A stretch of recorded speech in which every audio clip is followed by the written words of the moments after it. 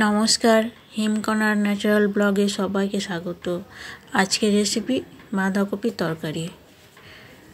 নিয়ে নিয়েছি বাঁধাকপি, সরু সরু করে কেটে নিয়েছি আর নিয়েছি আলু।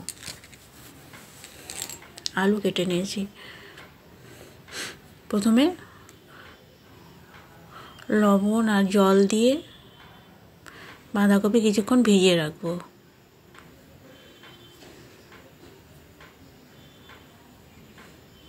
দশ পনেরো মিনিট মতো ভিজিয়ে রাখব, তারপর তুলে নেব, ছেঁকে তুলে নেব।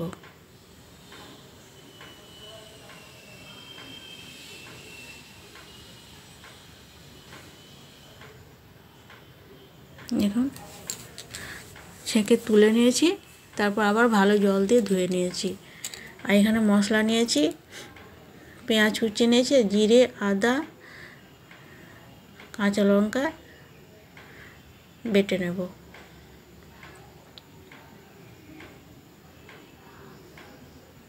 ওভেনে কড়াই বসিয়ে দিয়েছি, দিয়ে দিলাম সর্ষের তেল।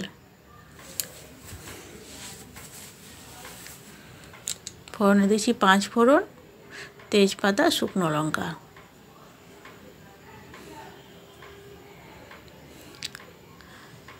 প্রথমে আলু ভেজে নেব।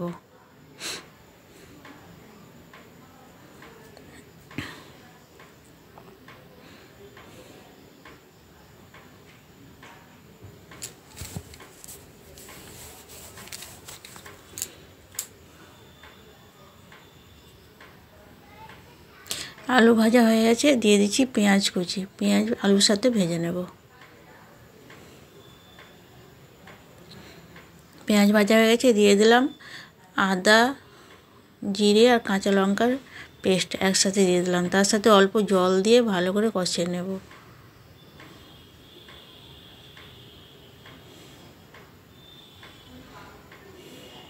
এই সময় দিয়ে দিচ্ছি পরিমাণ মতো লবণ।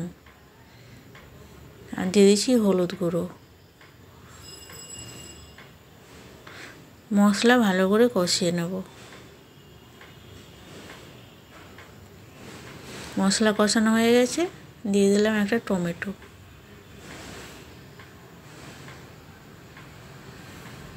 এবারে বাঁধাকপি দিয়ে দিচ্ছি। ধুয়ে রাখা বাঁধাকপি দিয়ে দিলাম।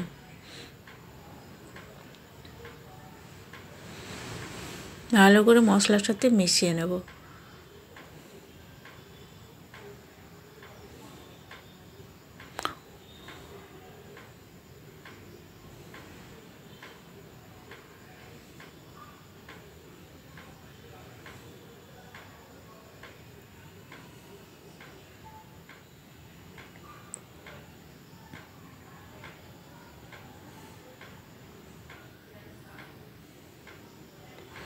আমার এই রেসিপিটি ভালো লাগলে লাইক শেয়ার সাবস্ক্রাইব করে আমার পাশে থাকবেন। কমেন্ট করে জানাবেন কেমন লাগল।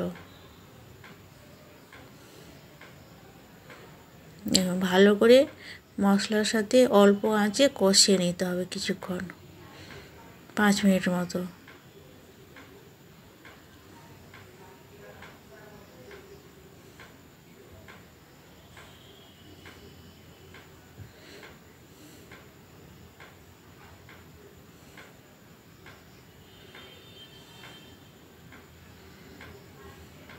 এরকম হবে।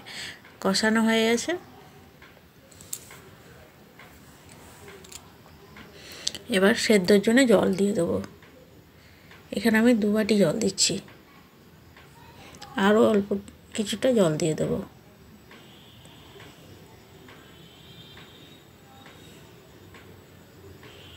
দশ মিনিট সেদ্ধ করে নেব।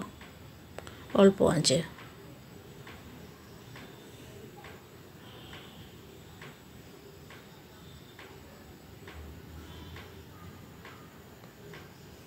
সেদ্ধ হয়ে গেছে। এবার দিয়ে দিচ্ছি চিনি।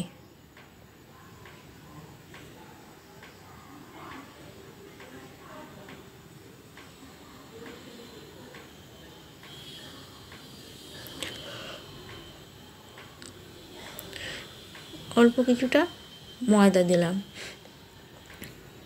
বাইন্ডিংয়ের জন্য। আপনারা চালের গুঁড়ো কিংবা আটা দিতে পারেন। আবার নাও দিতে পারেন। আমি কি এক চামচ মতো ময়দা দিয়েছি।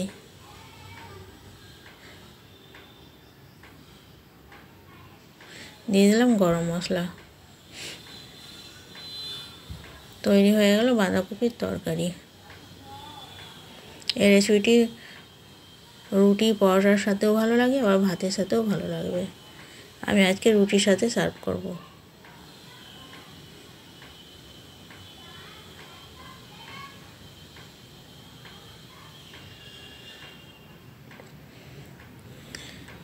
আজ এই পর্যন্ত। ভিডিওটি দেখার জন্য সবাইকে ধন্যবাদ। সবাই ভালো থাকবেন সুস্থ থাকবেন।